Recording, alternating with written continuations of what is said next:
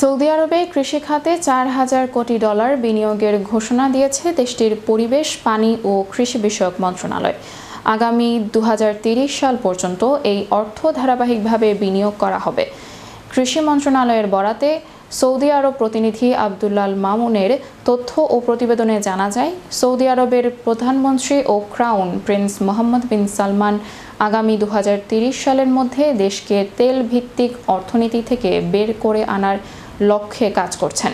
আর এই লক্ষ্যকে সফল করতে পর্যটন, তথ্য প্রযুক্তি সহ বিভিন্ন খাতে বিপুল পরিমাণ বিনিয়োগের সিদ্ধান্ত নিয়েছেন দেশটি সরকার। সেই সিদ্ধান্ত অনুযায়ী কৃষিতে এই পরিমাণ অর্থ বিনিয়োগ করা হবে। সোমবার এক বিবৃতিতে পরিবেশ, পানি ও কৃষি বিষয়ক মন্ত্রণালয় জানিয়েছে, আগামী একুশ থেকে চব্বিশ অক্টোবর পর্যন্ত রাজধানী রিয়াদের ইন্টারন্যাশনাল কনভেনশন অ্যান্ড এক্সিবিশন সেন্টারে কৃষিজাত পণ্যের একটি আন্তর্জাতিক প্রদর্শনীর আয়োজন করছে সৌদি সরকার। এই প্রদর্শনীতে সৌদির সঙ্গে অংশ নেবে বিশ্বের আঠাশটি দেশের তিনশো সত্তরটি কোম্পানি। সৌদি কর্মকর্তারা জানিয়েছেন, সৌদির কৃষকদের উৎসাহ ও অনুপ্রেরণা দেওয়া এবং খাদ্য নিরাপত্তার ব্যাপারে জনসচেতনতা সৃষ্টি এই প্রদর্শনীর প্রধান দুটি উদ্দেশ্য।